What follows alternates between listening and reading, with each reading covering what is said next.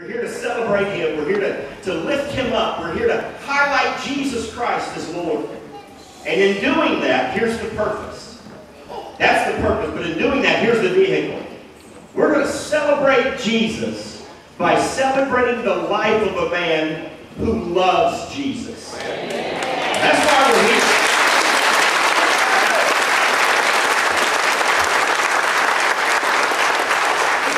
What an incredible blessing that is.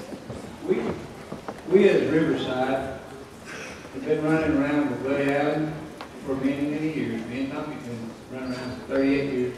This past I was, I was a mere child. Anyhow, we, we, uh, we want to honor God, Jesus Christ, through one of his servants tonight. And uh, we love this guy dearly, and we're going to have a singing him and just a good time. It's going to be a good time. Like Marty said, we're going to have a, we're going to have a celebration tonight. We're just going to have a lot of fun. Got nothing carrying on and, and telling the stories on the wedding. Because folks, let me tell you, there's some stories to tell on him. Me and Arnie have been, and Sam have been through the wars with Buddy. They don't call him the champ for nothing. Right, right now, there is a, is Billy Ray around? Where's Billy Ray? She used to sing this song for junior senior, is that correct? Junior senior, that's what we used to call it. Yeah,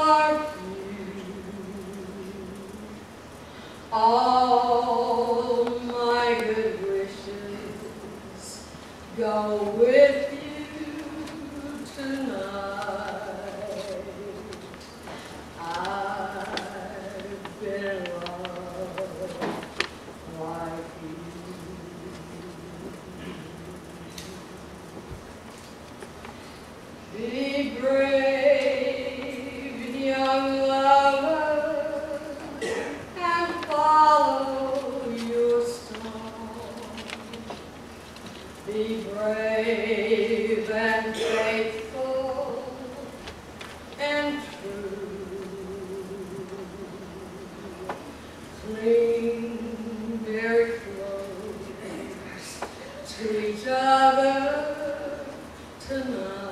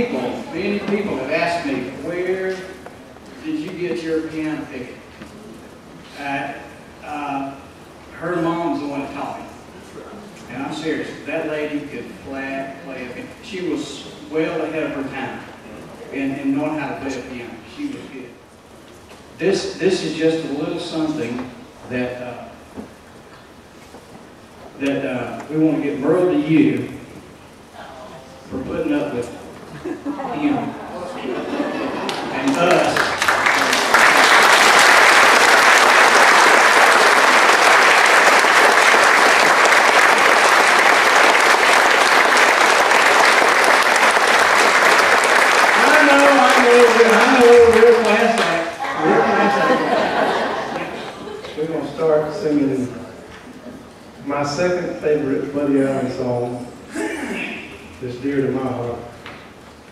I love songs about heaven, and I always love to sing, hear him sing this song, how he delivered it, how he got into it, because you could, when he sang it, you could feel what he was singing. You knew it was real to him.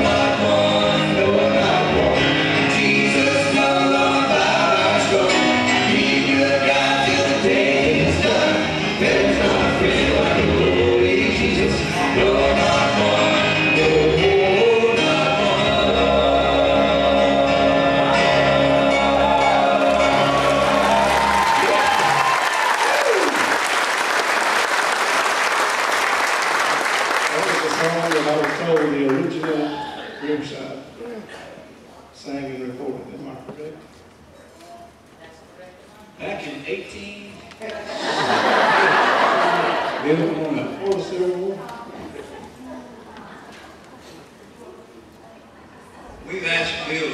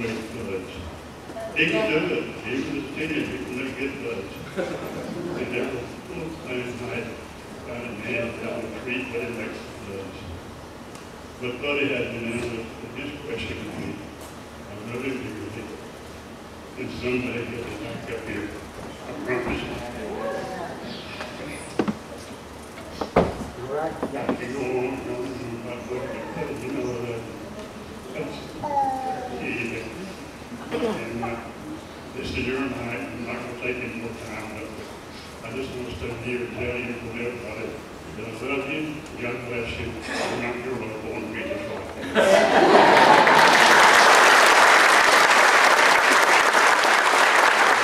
Luke Jenkins, come on up and sing one, buddy. Hey, buddy. Happy birthday.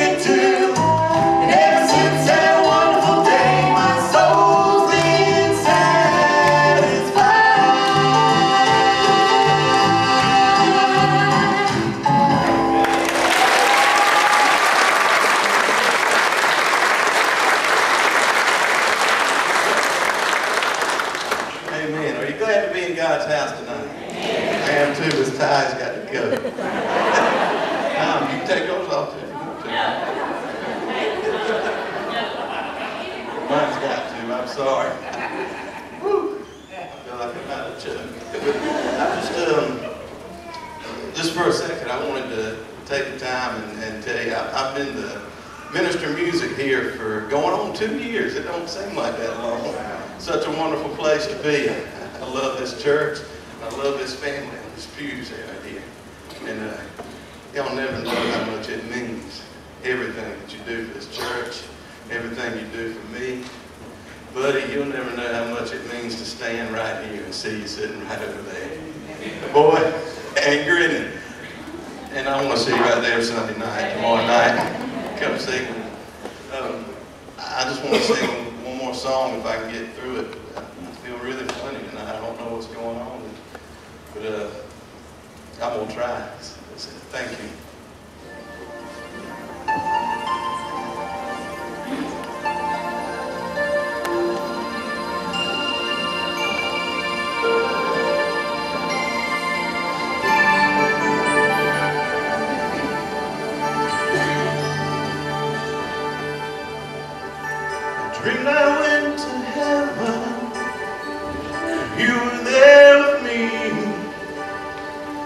Walked upon the streets of gold beside the crystal sea.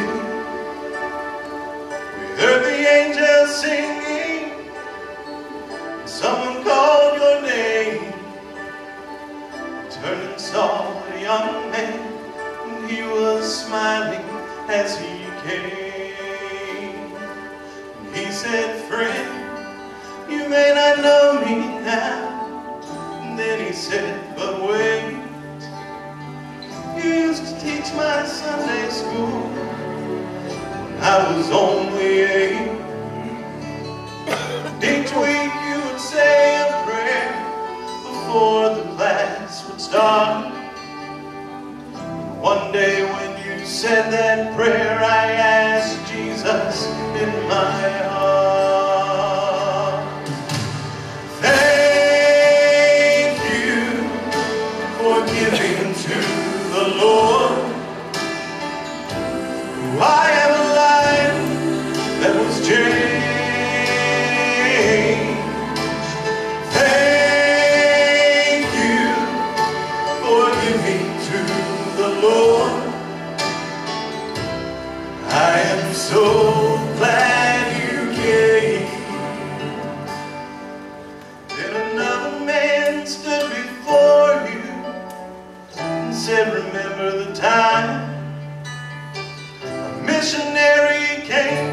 church, his pictures made you cry. You didn't have much money, but you gave it anyway.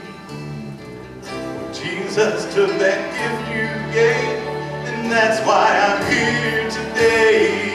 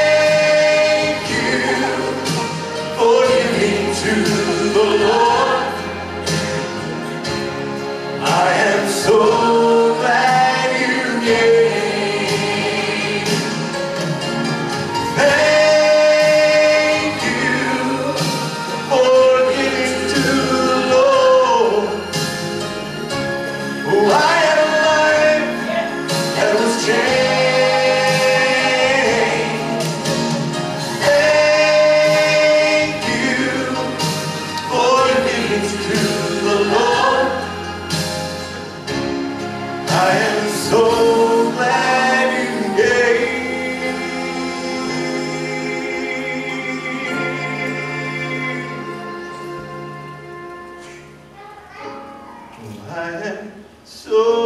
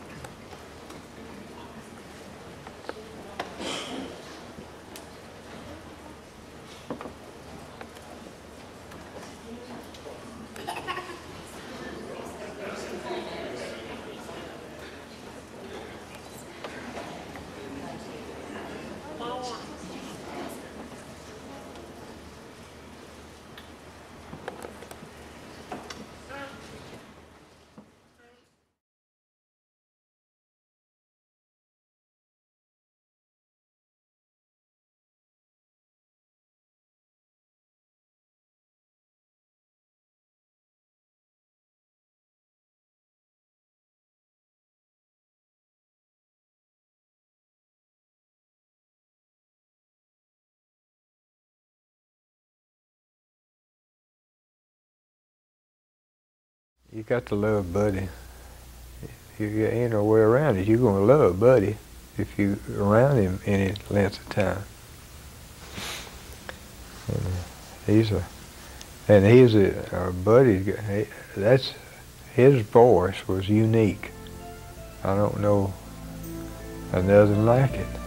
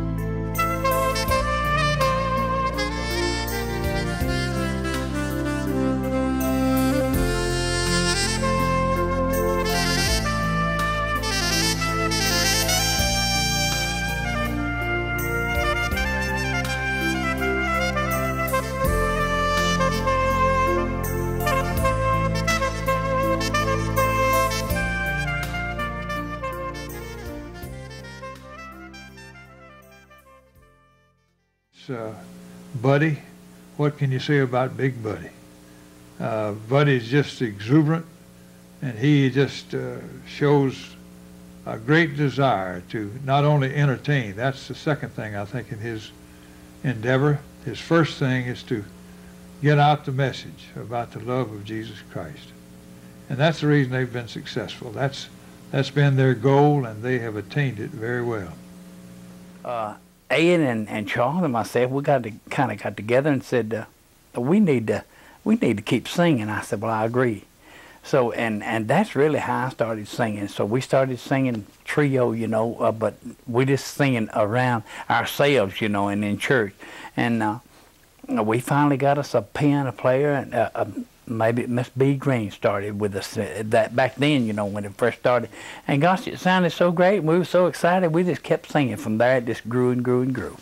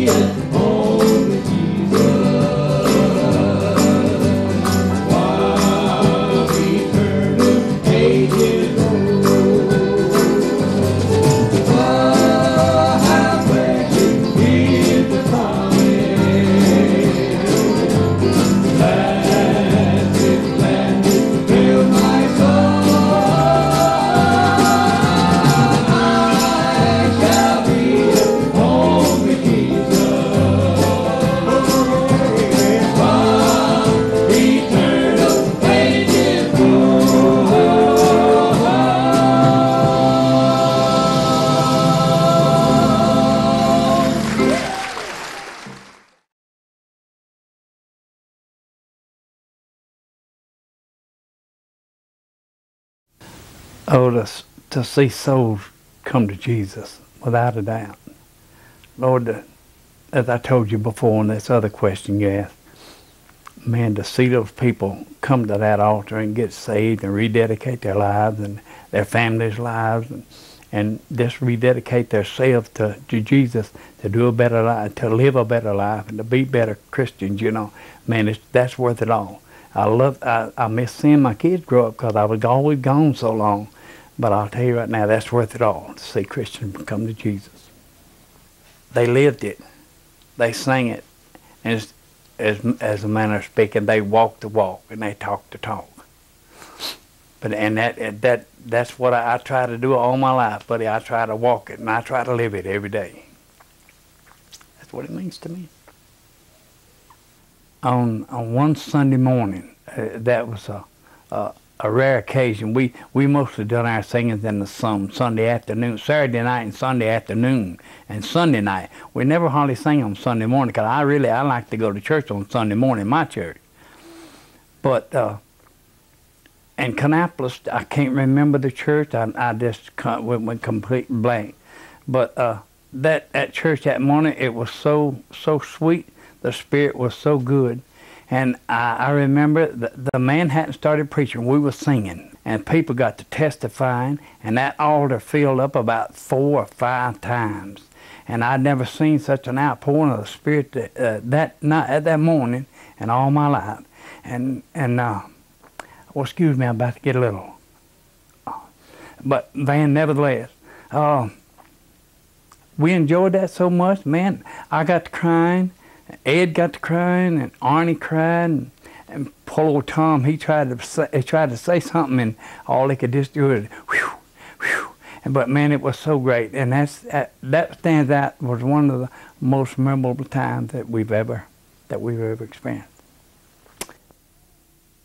Van, uh, because my mother bought the song, and she's gone now, but my very favorite song that I used to love to sing was Scars in the Hands of Jesus.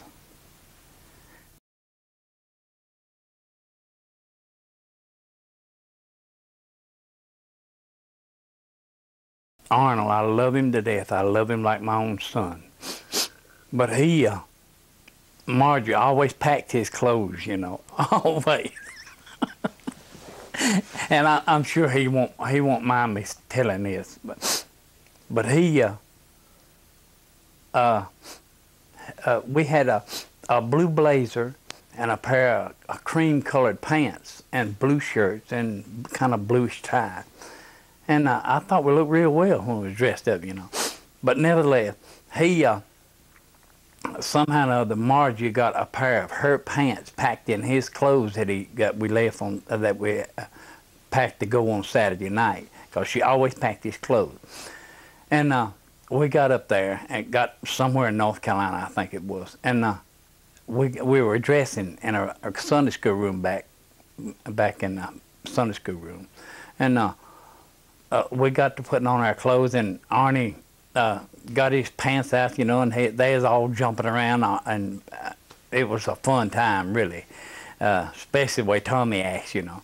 But he would, he threw his feet in his pants, and he jumped up, and the pants come up to about his knees. The, the legs come up to about his knees. He said, Bud, what's the matter with my pants? I said, I said, I don't know. I said, you've got a problem. I said, they, they're drawn up or something wrong. He said, but I got Margie's pants. so that was one of the funniest times I believe then I've ever had with them guys. I, they, we let that guy, we laughed at him all night and then broke out on stage doing it like that. Oh man, it was something else. Funniest time I ever seen.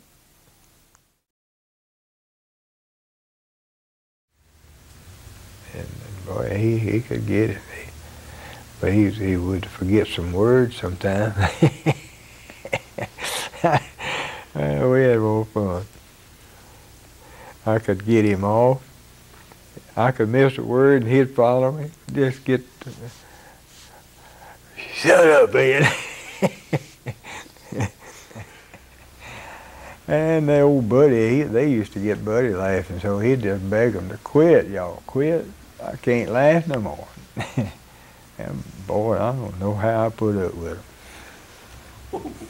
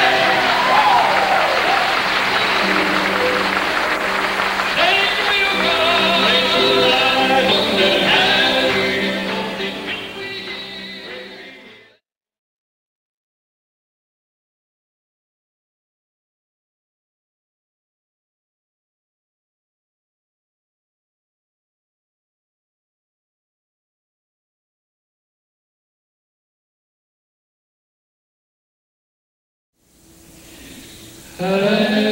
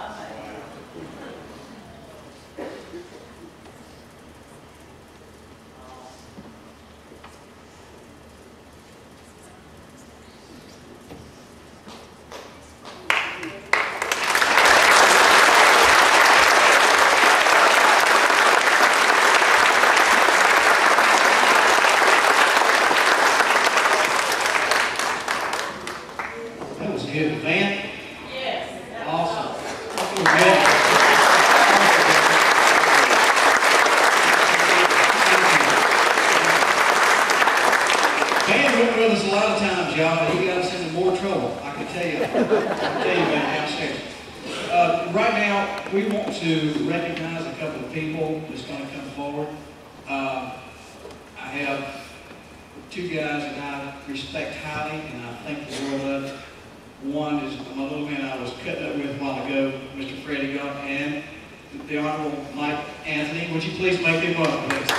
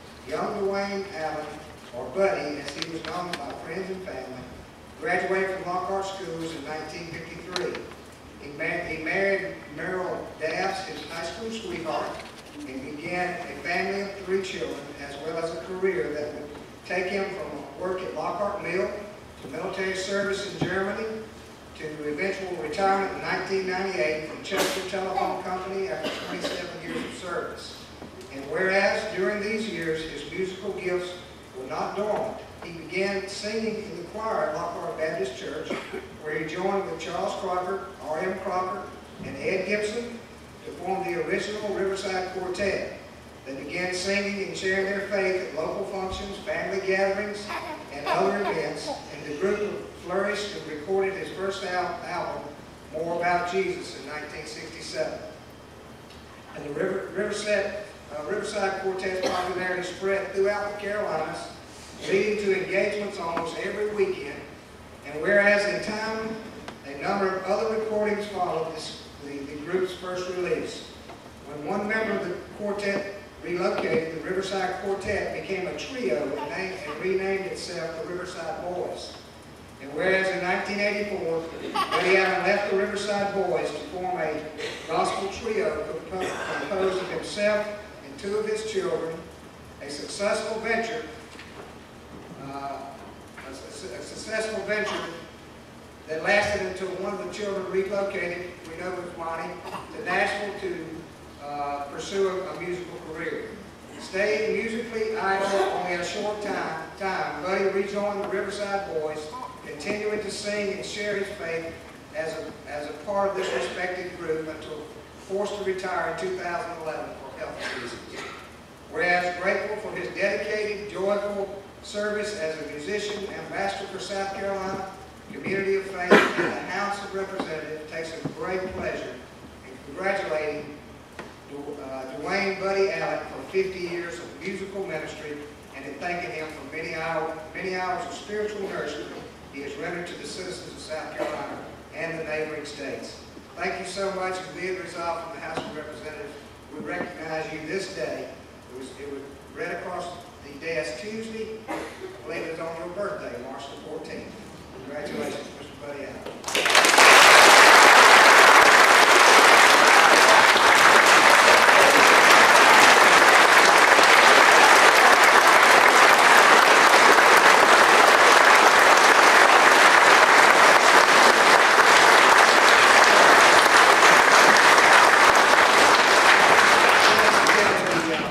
resolutions for not only you, Mr. Buddy, but also the three children. Thank you, Coach.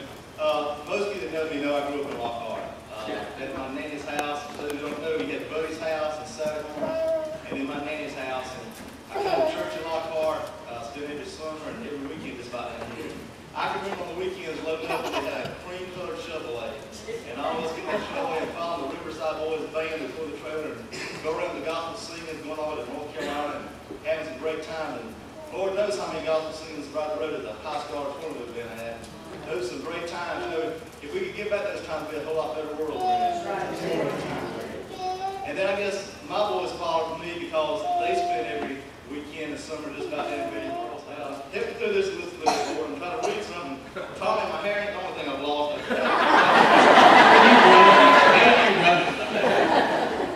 and it starts out from the United States Congress. But I'm thrilled to join your friends and neighbors in celebrating your life and amazing accomplishments on Buddy Allen Day. You are that rare individual who the a true patriot, family man, and community leader. Throughout your years, you have touched countless lives, brought joy to others through music. Although you excuse although you encountered many challenges and some loss along the way, you continue to carry on and lift up those those around you. Your faith and dedication to your country, singing the gospel, is a shining example of what it means to be an American. After 50 years, thousands of performances, more than 15 al- albums, and many miles traveled, you continue to serve the Lord, your church, and your community with that. My hope is that others will strive to be the kind of person you are, a man of grace, service, and love for his family. I know you will continue to be, an, to be an inspiration to others, and I hope you know how much you are loved and appreciated. Please please let me know if there's anything I can do for you or your family. Is an honor to serve you, United States Congressman Trey.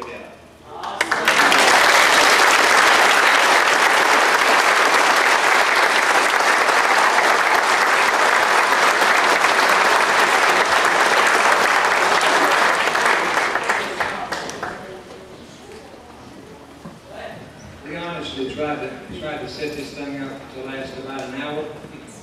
Forgive us, we, it, it just ain't happening because we have a wonderful person. Don't that's exactly right. Everything here is meant to be. That's right.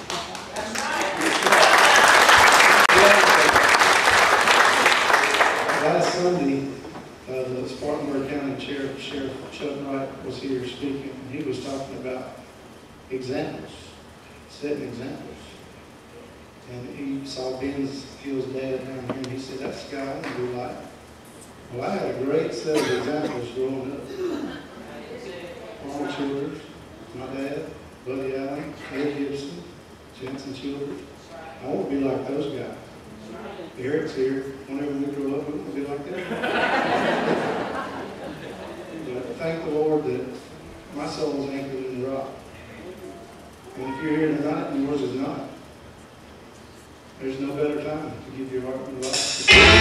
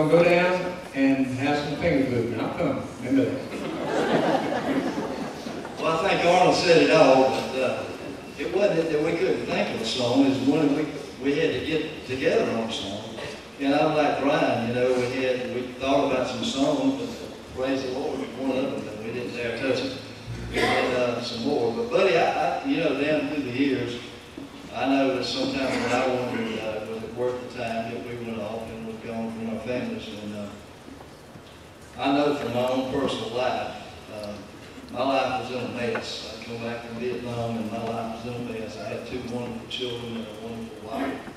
And I was living a facade. And I was miserable. I headed to a party that weekend and Arnold asked me to come and hear him sing. And uh, I really didn't want to. I was really planning to go somewhere else. But I went over there and it was in the high school auditorium.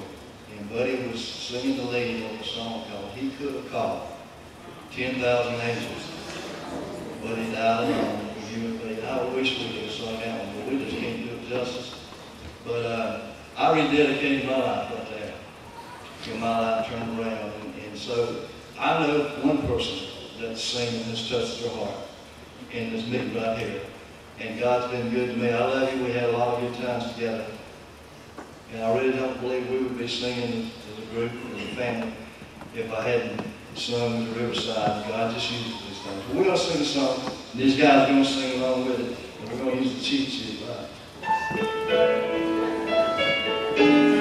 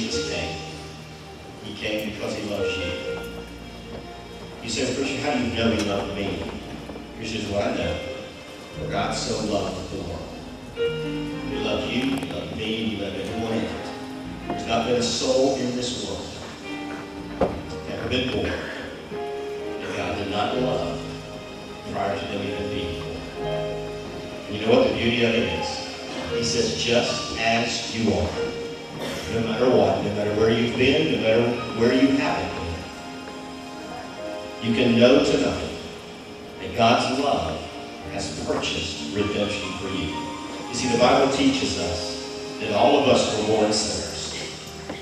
All of us are in sin. Sin has separated us from the love of God. The Bible goes on to say that the wages of that sin, what's earned because of it, is death. Eternal death. Separation from God for all eternity. And the judgment of a place called. But the good news is that in God's perfect love, He sent Jesus. Why? His Son, God in the flesh. And He came and lived a life without sin that you and I couldn't live. And He went to a place called Calvary, a cruel cross. There He willingly died. When He died, He shed His blood. Why? Because the Bible teaches that without the shedding of blood, there is no remission of sin. There's no forgiveness without a perfect sacrifice. Jesus is that sacrifice. He died for you so that you did not have to walk in eternity without your sins forgiven. So the Bible teaches us, confess with your mouth the Lord Jesus and believe in your heart that God raised him from the dead three days you will be saved. Here's the joyful good news tonight. Your relationship with Buddy Allen, as wonderful a man as he is, cannot get you to heaven. The fact that you went to 2,700 gospel singings and been to church every week for your whole life will not get you to heaven. There is only one thing, and that is to confess your sin before God, to repent of that sin, to ask Jesus to cleanse that sin, come into your life as your Lord and Savior. Well, amen. You've heard the gospel, you've seen it demonstrated, you've heard it sung, you've heard it spoken. You have everything you need. Now it's up to you. Would you just trust Jesus? You're here. Praise the Lord. Now, buddy, we love you, man. Love you so much. Thank you. Thank you for sharing your life with all of us. Amen? Amen. Praise the Lord.